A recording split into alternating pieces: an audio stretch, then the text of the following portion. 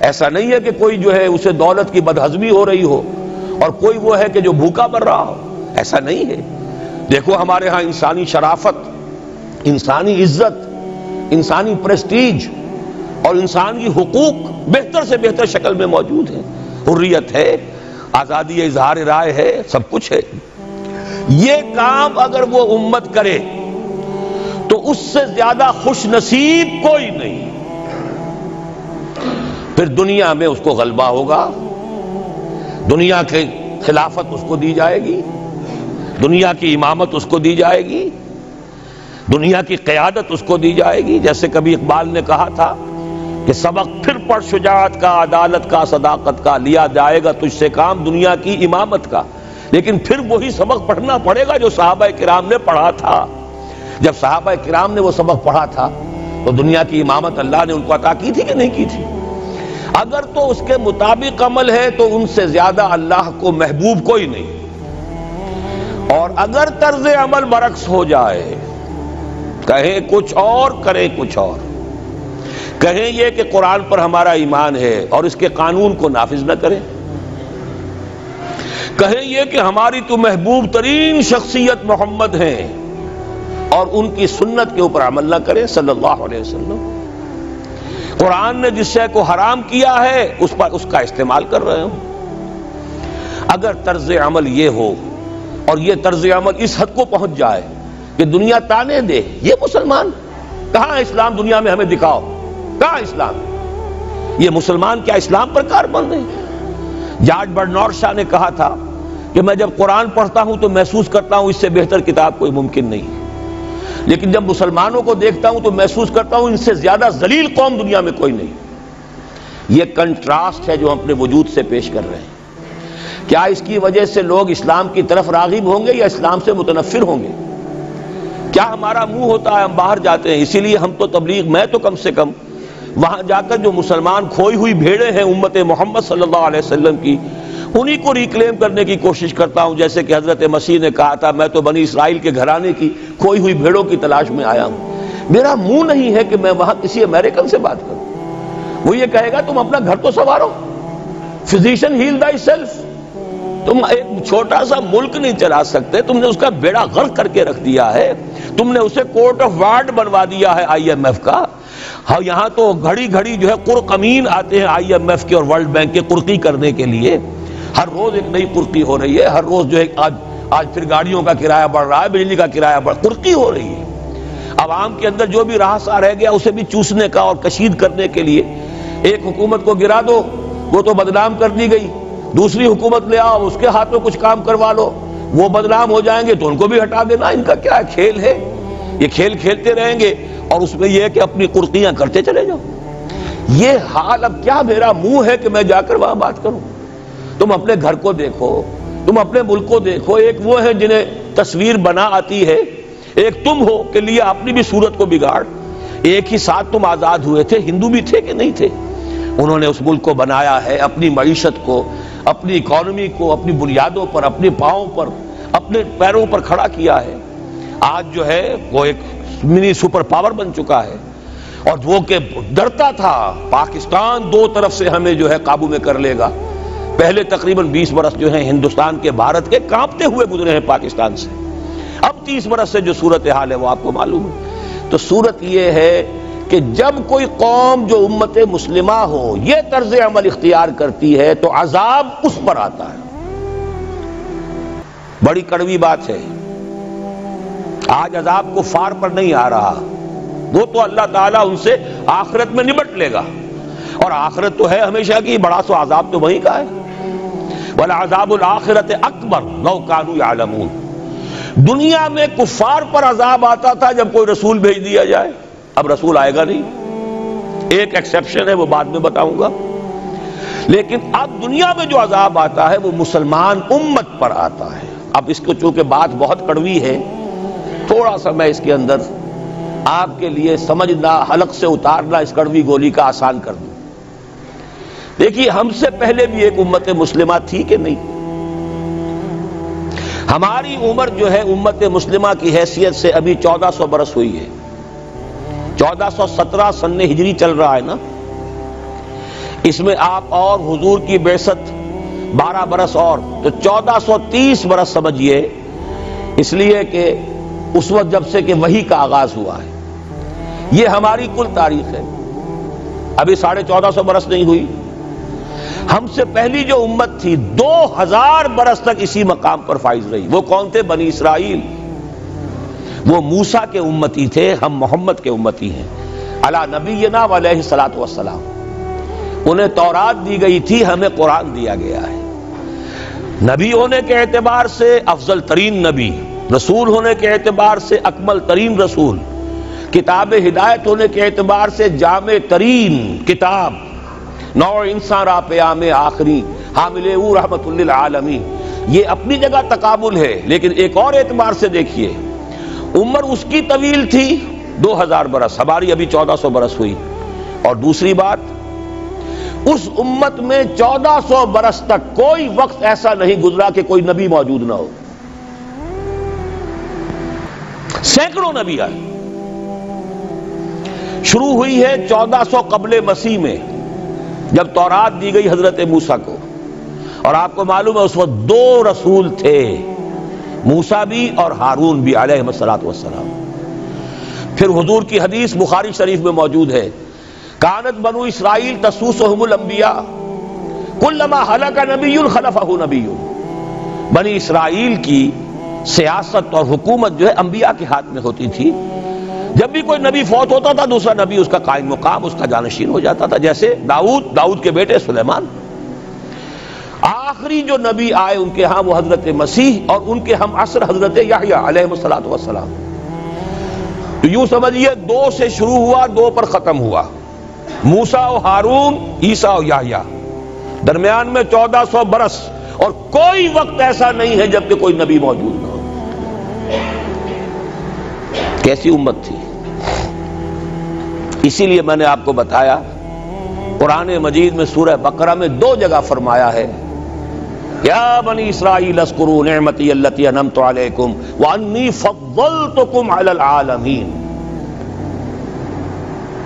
छठा रुकू भी शुरू होता है इसी आयत से सूरह बकरा का, और पंद्रवा रुकू फिर शुरू होता है इसी आयत से। ए बनी इसराइल, मेरे उस इनाम और इकराम को याद करो जो मैंने तुम पर किया। और मैंने तो तुम्हें तमाम जहान वालों पर फजीलत दी थी। लेकिन वही बनी इसराइल, जब उनका तर्ज अमल क्या हुआ? शरीयत को पसे पुश डाल दिया। नबाजा फरीक किताब किताब अल्लाह यहमलूहा का मसल किताब से नाता तोड़ लिया। बस उसको मुकद्दस किताब बनाकर रख दिया, ना पढ़ना, ना समझना, ना उस पर अमल करना, जैसे हम करते हैं। ईसाल सवाब की महफिलों में काम आता है, या बच्चियों को वो जहेज में देने के काम आता है। या किरात की महफिलें होती है, मुकाबले होते हैं। अल्लाह अल्लाह, खैर सल्ला कुरान मजीद से हमारा क्या सरोकार रह गया है। बहाया तशतरा कार जुजी नीस्त यासीन आसाब अमीरी अयाशियाँ करते थे, बदमाशियाँ करते थे, गलत काम करते थे, लेकिन उन्हें ख्याल ये था कि हम चूँकि इब्राहिम की नस्ल से हैं, मूसा की उम्मत में से हैं नानो वाहिबाहू, हम तो अल्लाह के बेटों के मानिंदे बड़े चहीते हैं। इसी पर अल्लाह ने फरमाया, फलेमा युम बेजुनूब कुम तुम बशर मिमन खलक। ऐसे ही तुम चहीते और लाडले हो तो अल्लाह तुम्हें आजाब क्यों देता रहा है? तुम्हें नेबुकट नज़र के हाथों पिटवाया। 600 कबले मसीह में यूँ समझिए, तकरीबन वस्त में आता है ये मामला। चौदह सौ कबल मसीह में तौरात दी गई। और समझिए कि एक मसीह में हज़रत मसीह आ रही है, तीस सन ईस्वी में। इनके दरमियान तकरीबन वस्त में अशीरियों के हाथों पिटवाया और बाबलियों के हाथों पिटवाया। मुख्त नसर जिसको कहते हैं नबुकट नज़र। छह लाख यहूदी उसने कत्ल किए, यरूशलेम में छह लाख को कैदी बनाकर ले गया। हैकल सुलेमानी गिरा दिया गया जो कि उनका काबे के दर्जे में था। और यह कि कोई एक मुतनफिस नहीं बचा यरूशलेम में, कोई दो ईंटें सलामत नहीं रही। उन्हें ले गया बेबीलोनिया में कैप्टिविटी पीरियड ऑफ़ कैप्टिविटी वहाँ से वापस आए, तौबा की उन्होंने, हज़रत उजैर सलाम की दावत तौबा जो है, तौबा की मनादी के नतीजे में। तो फिर अल्लाह ने उन्हें एक मौका और दिया। और उनकी एक बड़ी अजीम सल्तनत कायम हुई मक्काबी सल्तनत। और फिर टेंपल जो है दोबारा बना। ये जो सेकंड टेंपल कहलाता है, दूसरी तामीर जो हुई हैकल सुलेमानी की, इसको भी फिर दोबारा जब उनके यहाँ वही लक्षण आए, मैं तुझको बताता हूँ तकदीर उमम क्या है, शमशीर सना अव्वल, ताऊस और रुबाब आखिर। जब वही लक्षण हो गए, फिर आजाब के कोड़े पड़े पहले ग्रीक्स के ज़रिए, यूनानियों के ज़रिए, फिर रोमन्स के ज़रिए, और सन सत्तर ईस्वी में वो दूसरा है कल सुलेमानी भी मिसबार कर दिया गया। और इन्हें फिलिस्तीन से निकाला दे दिया गया। निकल जाओ यहाँ से। तकरीबन यूँ समझिए कि 1917 तक, सन 70 से 1917 तक कितने हो गए? साढ़े अठारह सौ बरस हो गए तकरीबन। साढ़े अठारह सौ बरस ये लोग फिर फिलिस्तीन में दाखिल नहीं हो सके। और वो हैकल सुलेमानी आज तक भी पड़ा हुआ है मुनहदिम, सिवाय उसकी एक दीवार के जिसे ये वेलिंग वॉल कहते हैं। वहाँ जाते हैं, रो धोकर आ जाते हैं। अब तो खैर उनका कब्जा है, जाना आने का सवाल नहीं रहा। वरना उन्नीस से पहले भी इजाज़त लेकर जाते थे, मातम करके आ जाते थे। इसलिए कि यरूशलेम जो है, उस पर कब्जा तो उनका हो गया था, लेकिन मशरकी इलाका है वो, और उस पर अभी अरबों का ज़्यादा तसल्लु था, अब वो खत्म हो रहा है। मालूम हुआ कि वही कौम जो है, जो चहेती भी थी, लाडली भी थी, खैरुल उमम थी, अन्नी फल तो कुम आलमीन का मिसदाक थी जिस पर इनामात थे, इकराम था, जिन्हें हज़रत दाऊद और सुलेमान की सी हुकूमतें दी गई। इन सब का मामला क्या हुआ? गलत अमल की वजह से, बरअक्स रवैये की वजह से, कुरान मजीद ही में दो जगह है थोड़े से लफ्जी फ़र्क के साथ। जुरबत अलहिमत वलमस्कनत व उन पर जिल्लत थोप दी गई, जलील कर दिए गए। साढ़े अट्ठारह सौ बरस तक, पहले डेढ़ सौ बरस तक कैप्टिविटी में रहे थे, अब साढ़े अट्ठारह सौ बरस तक, जिसे ये डायस्पोरा कहते हैं, उसमें रहे। रोते थे, याद करते थे अपनी फिलिस्तीन की सरजमीन को कि हम वहाँ से निकाले गए हैं। वो भी हज़रत उमर ने इजाज़त दी थी जाकर, जबकि यरूशलेम जो है हैंड ओवर किया है, वहाँ के ईसाइयों ने हज़रत उमर के हवाले किया है रज़ी अल्लाह तन तो हज़रत उमर ने इन्हें आकर जियारत करने की इजाज़त दी, वरना जियारत की इजाज़त भी नहीं थी। ईसाइयों ने रोका हुआ था। नो जीव कुड एंटर जेरूशलेम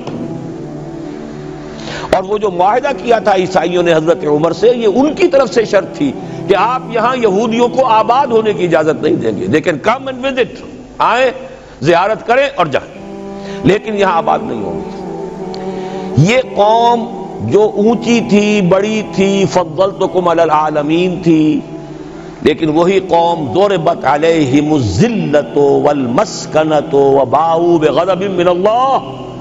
अल्लाह के गजब को लेकर लौटी।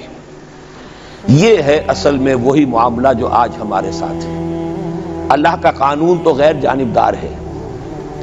वलन तजद सुन्नत तहवीला, वलन तजद सुन्नत तब्दीला। अल्लाह का कानून कौमों और उम्मतों के लिए बदलता नहीं। वही सूरत है। हमें भी कहा गया कुन तुम खैर उम्मत नुखरजत लिन्नास। तुम बेहतरीन उम्मत हो, जिसे दुनिया वालों के लिए निकाला गया है। तुम्हारा काम क्या है? हम तो जीते हैं कि दुनिया में तेरा नाम रहे। कहीं मुमकिन है कि साकी न रहे, जाम रहे। हमारा काम तो था उस इस्लाम पर अमल करें और दुनिया को दावत दें। अपने अमल में भी गवाही दे। आओ, देख लो। हम जो कुछ कह रहे हैं, ये थ्योरी नहीं है। ये सिर्फ़ नफाजी नहीं है। ये शायरी नहीं है। अगर मोहम्मद रसूलुल्लाह ने कह, फरमाया सल्लल्लाहु अलैहि वसल्लम, सैयदुल कौम खादिम आओ देख लो मदीने में हमारा खलीफा, उमर फारूक खादिम है कि नहीं है? क्या कोई बादशाह है? क्या उसने कोई महल बनाया है? क्या उसके लिए कोई खदम हशम है? क्या उसके लिए कोई बॉडी गार्ड है? कुछ भी नहीं। जैसी झोंपड़ियाँ दूसरों की है, वैसी झोंपड़ा उसका है। जैसे पैबंद लगे हुए कपड़े दूसरों के हैं, बल्कि दूसरों के बेहतर भी होंगे, उसके कपड़ों में पैबंद लगा हुआ है। उसके नाम से कैसर और किसरा के दरबारों में लर्जा है। लेकिन उसकी सादगी का आलम ये, आओ देखो। See with your own eyes come here see it ये अगर हम करते और कर सकते, जब तक करते रहे तो हमसे ऊँचा कोई नहीं। अल्लाह का हमसे बढ़कर महबूब कोई नहीं। हमसे ज़्यादा उम्मत मरहूमा और कोई नहीं। लेकिन जब हमने बरक्स रवश इख्तियार की तो क्या हुआ? जैसे उन्हें पिटवाया गया था एश्यूरियंस के हाथों हमें पिटवाया गया सबसे पहले कल, जो सलीबियों के हाथों क्रूसेडर्स।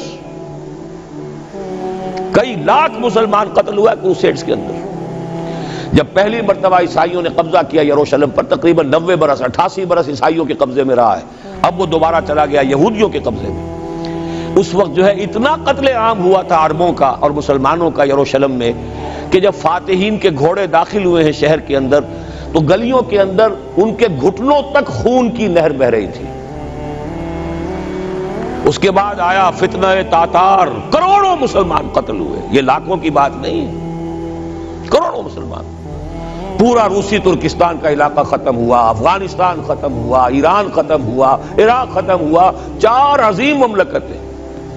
और आखिरी खलीफा बनु अब्बास का, वो घसीट कर निकाला गया अपने महल से, मुस्तासिम बिल्ला वैसे तो नस्ल तो हजूर के चचा की नस्ल से था, अब्बासी था, हज़रत अब्बास रज़ी अल्लाह तहों की नस्ल से है, मुस्तासिम बिल्ला लेकिन उसको घसीट कर निकाला गया, एक जानवर की खाल के अंदर लपेट कर, और तातारियों ने अपने घोड़ों के सुमो तले उसे कुचल दिया। वो दिन और आज का दिन फिर उम्मत मुस्लिमा की क्यादत अरबों से छीन ली गई। उसके बाद अल्लाह ने फिर करम फरमाया फिर कुछ औलिया अल्लाह के ज़रिए से, कुछ सूफिया के ज़रिए से। इतना बड़ा मौजदा हो गया, जैसा कि हज़रत उजैर सलाम के ज़रिए से हुआ था, कि यहूद में दोबारा इनाबत अल्लाह तौबा का जज्बा पैदा हो गया। ऐसे ही कुछ सूफिया किराम के ज़रिए से, नेक लोगों के ज़रिए से अल्लाह वालों के ज़रिए से, वही तातारी जिन्होंने करोड़ों मुसलमानों को कत्ल किया था, खुद मुसलमान हो गए। है आया फितना तातार के अफसाने से, पासबा मिल गए काबे को सनम खाने से। फिर गलबा हुआ, फिर तुर्कों की अजीम हुकूमत कायम हुई, तुर्कान तैमूरी, तुर्कान उस्मानी, तुर्कान सलजूकी, तुर्कान सफवी। अरब तो माजूल हो गए थे, लेकिन तुर्कों की जेर क्यादत फिर ग्रेट ऑटोमान अंपायर में कायम हुई। उसके बाद फिर जब वो तुर्कों के अंदर भी वही बादशाहत, वही अयाशियाँ वही महल बन रहे हैं वही जो है तोप कापी महल जाकर देख लीजिए, वही अयाशियाँ शुरू हो गई, वही अलल्ले तलल्ले हो गए, वही जुल्म शुरू हो गए तो फिर अल्लाह ने दोबारा फिर हमें यूरोपीय अकवाम के हाथों जलील किया, कहीं अंग्रेज़ों के गुलाम, कहीं फ्रांसीसियों के गुलाम, कहीं अतालवियों के गुलाम, कहीं वलंदेजियों के गुलाम, पूरा आलम इस्लाम इस सदी के आगाज़ में, पहली जंग अजीम के बाद पूरा आलम इस्लाम गुलामी में था। सिवाय नजद का एक इलाका था कि नजद में अभी तेल बरामद नहीं हुआ था, वरना सबसे पहले पंजे वहाँ गढ़ते वहाँ रेत में जाके लेना क्या था? बाकी तो ये हिंदुस्तान गुलाम है, इंडोनेशिया गुलाम है, सबके सब ये जावा सुमाट्रा चलते जाइए, सब गुलाम है। उसके बाद ईरान चाहे बर रास्त गुलामी नहीं थी, लेकिन अंग्रेज़ों के इंतज़ाम में था, कंट्रोल उन्हीं का था। इराक पर अंग्रेज़ों का कंट्रोल था। इसी तरीके से ये सारी जो अरब ममलकतें हैं, ये या या ये अंग्रेज़ों के जेर असर थी और या ये कि फ्रांसीसियों के जेर असर थी।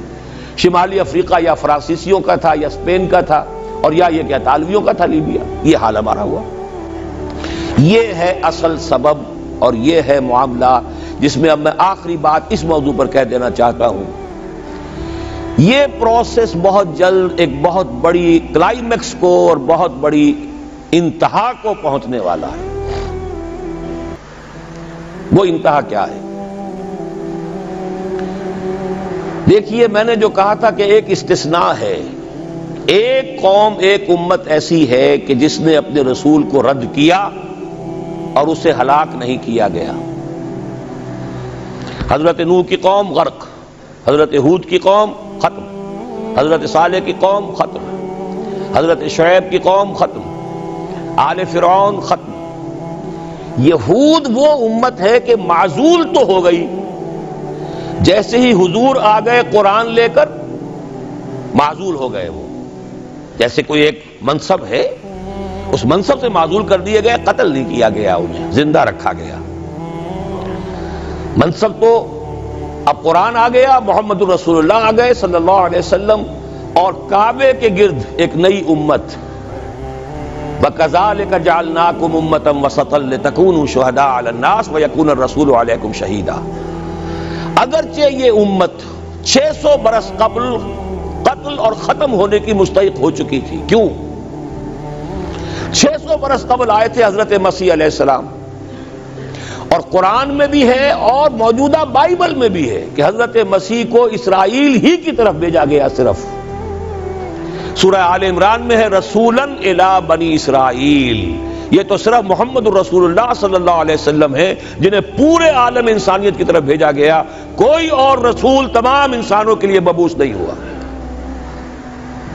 और अभी बाइबल में मौजूद है कि मैं सिर्फ़ इसराइल के घराने की, खोई हुई भेड़ों की तलाश में आया हूँ। इसीलिए मैंने कहा था, मैं भी अमेरिका वगैरह जाता हूँ। तो ये अपने पाकिस्तानी, हिंदुस्तानी भाई जो हैं ये खोई हुई भेड़ें वहाँ जाकर जो हैं वो गुम हो गई हैं, उन गुमशुदा भेड़ों की तलाश में। तो इसको अच्छी तरह समझ लीजिए, हज़रत मसीह की बेसत थी बनी इसराइल की तरफ़, और बनी इसराइल ने न सिर्फ़ यह कि उनको माना नहीं, बल्कि उल्टा अपने बस पड़ते सूली पर चढ़ा दिया।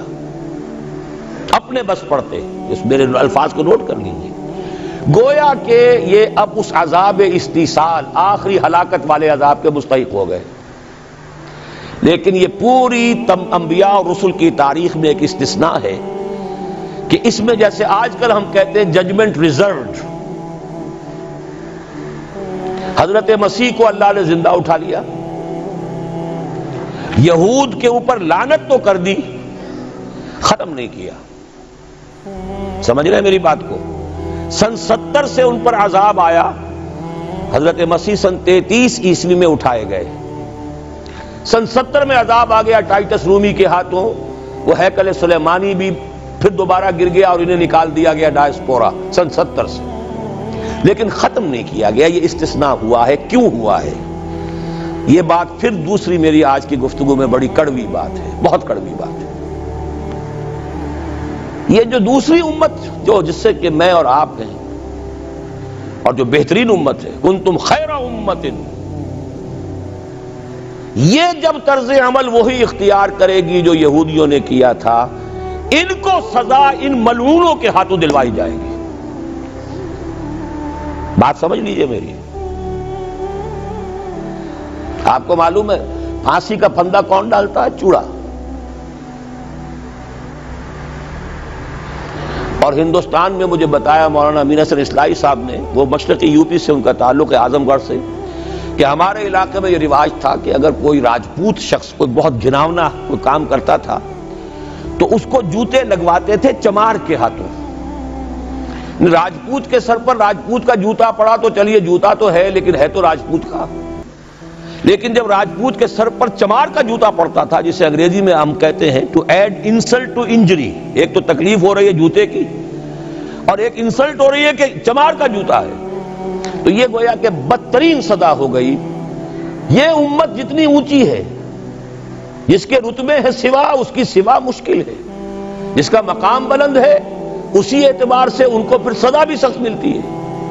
साफ़ फरमा दिया अल्लाह ताला ने सूरह अहजाब में, ए नबी की बीवियों, तुम आम लोगों की तरह नहीं हो। लस्तुम कहा निसा। लस्तुन निसा। अगर तुमने कोई गलत हरकत की, दोहरा आजाब मिलेगा। और बात सही है। जिनके रुतबे हैं सिवा, उनकी सिवा मुश्किल है। इस उम्मत को अजाब के कोड़े मारने वाली कौम, वो मलून और मकजूब अलहिम कौम है, जिसके लिए कुरान मजीद दो दफ़ा कहता है, जोरबत अलहिमत वल मस्कलत और ये कोड़े बहुत ज़बरदस्त शक्ल में अभी आने वाले हैं। मेरी बात अब आपने समझ ली? क्यों रखा गया यहूद को? ये जल्लाद क्यों संभाल के रखे गए? उन्हें भी सजा दी गई। इस सदी में भी, हिटलर के हाथों में भी छह मिलियन साठ लाख उसने खत्म किए। उन पर तो सजा का सिलसिला चलता रहा। एक्सटर्मिनेट नहीं किया, खत्म नहीं किया। बाकी रखा है। इसलिए कि इनको कोड़ा बनाकर उम्मत मुस्लिमा की पीठ पर मारना है कि तुम्हारा रुतबा, तुम मोहम्मद के उम्मती सल्लल्लाहु अलैहि वसल्लम। हमारे आखिरी रसूल, हमारे अकमल रसूल, हमारे खातम नबीन, खैरुल बशर, और उनकी उम्मत होकर तुम्हारा हाल ये है। तो तुम तो सजा के मुस्तक जो हो, वो सजा है कि जो अच्छी तरह समझ लीजिए, हमारी हाल जो इस सदी के आखिर में शुरू में हुआ था कि तमाम मुसलमान गुलाम, इस गुलामी के ऊपर जो मजीद कोड़ा तैयार हुआ 1917 में बालफोर डेक्लेरेशन के ज़रिए से बरतानिया ने इजाज़त दे दी कि यहूदी आ सकते हैं, अब फिलिस्तीन में आकर आबाद हो सकते हैं। वो मकान खरीद सकते हैं, जायदाद खरीद सकते हैं, जमीनें खरीद सकते हैं। 1971 इस पर अंदेशा था कि कहीं अगर खलीफा उस्मानी ने जिहाद का ऐलान कर दिया, इसलिए कि अब्दुल हमीद, सुल्तान अब्दुल हमीद को बड़ी से बड़ी रिश्वतें पेश करके देख लिया था उन्होंने। कि ये जो हमारे ऊपर पाबंदी है कि हम फिलिस्तीन में आबाद नहीं हो सकते, जो कहो हम तुम्हें दौलत देने को तैयार है, ये पाबंदी खत्म कर दो। सुल्तान अब्दुल हमीद वैसे जो भी कुछ थे छोड़ दीजिए, लेकिन यह कि उसने कहा कि जो मुआदा उमर ने किया था रज़ी अल्लाह तन मैं पीछे नहीं जाऊँगा। लिहाजा खिलाफत खत्म करवा दी, और करवाई किसके हाथों? एक मुसलमान के हाथों। इसलिए कि फ्री मेसन था। मुस्तफ़ा कमाल पाशा फ्री मेसन ये सब यहूदियों के इदारे चाक कर दी तुर्के नादा ने खिलाफत की खबा। सादगी अपनों की देख, औरों की अयारी भी देख। हिंदुस्तान में हंगामा चल रहा है, तहरीक चल रही है, मुसलमान हिजरत कर रहे हैं, और सब कुछ हो रहा है, और हिंदू भी शामिल हो रहे हैं खिलाफत की तहरीक में। लेकिन अब मुद्दा सुस्त, गवाह चुस्त। जब मुस्तफ़ा कमाल ने खुद खत्म कर दी तो सब पानी पड़ गया आग के ऊपर। अब क्या बोले? किसको बुरा करें उसके बाद 1948 में उनकी रियासत कायम हो गई, इसराइल। कितने बरस बाद? रियासत तो खैर उस वक्त भी उनकी नहीं थी, जबकि टाइटस ने खत्म किया है, वो तो बहुत पहले की बात थी। तकरीबन 2000 साल बाद इसराइल उन्नीस में जंग करवाई, और यह बिल्कुल सद्दाम की तरह का मसला था। उन्नीस की जंग में एक साजिश थी। उन्होंने बतौर मोहरा इस्तेमाल किया जमाल अब्दुल नासिर को, जिसने अचानक जो है इलाद की बंदरगाह को ब्लॉक कर दिया। 1967 इस पर झपट्टा मारा है इसराइल ने। उधर से सिनाई ले लिया, इधर से गोलान हाइट्स ले लिए, इधर से जो है west bank of Jerusalem west bank of Jordan ले लिया। ये सन सड़सठ की बात है। फिर आलम अरब में एक मुल्क जरा निकलने लगा था कि शायद एक के पास पैसा बहुत था, लीबिया के पास। वो मदद कर सकता था किसी मुसलमान मुल्क की कि वो एटम बम बना ले। दो मुल्क ऐसे थे, एक गरब, गैर अरब, एक अरब। इराकियों के पास कुछ सलाहियत मालूम हो रही थी कि कुछ दांत शायद निकल आए, जैसे दूध के दांत होते हैं तो शायद एटमी दांत निकल आए। वो बुरकस उनका निकाला है। एक दफ़ा जाकर आपको याद होगा हवाई जहाज़ गए और सबका तहस नहस करके आ गए। और वो सख्त जान कौम निकली, उन्होंने फिर कुछ बना लिया। तो फिर वही सद्दाम, सद सौ दाम, जाल।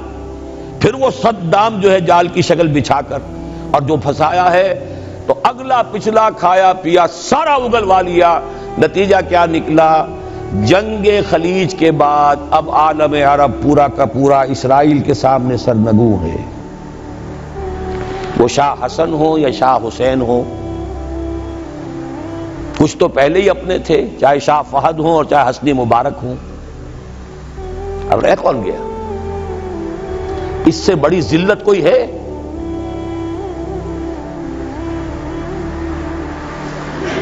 जिनके साथ एक मेज पर बैठने को तैयार नहीं थे, जिनके साथ गुफ्तगु को तैयार नहीं थे, और बुलाकर कहाँ खड़ा किया है? आओ मैड्रिड में, स्पेन में आओ।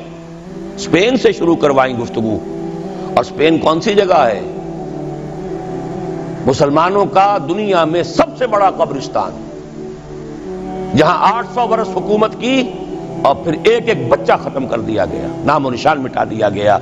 चौदह सौ बानवे में फॉल ऑफ़ ग्रेनेडा हुआ है, सकूत करनाता। और उन्नीस सौ बानवे में ठीक 500 बरस बाद ये निगोसिएशन शुरू हुई है मैड्रिड के अंदर।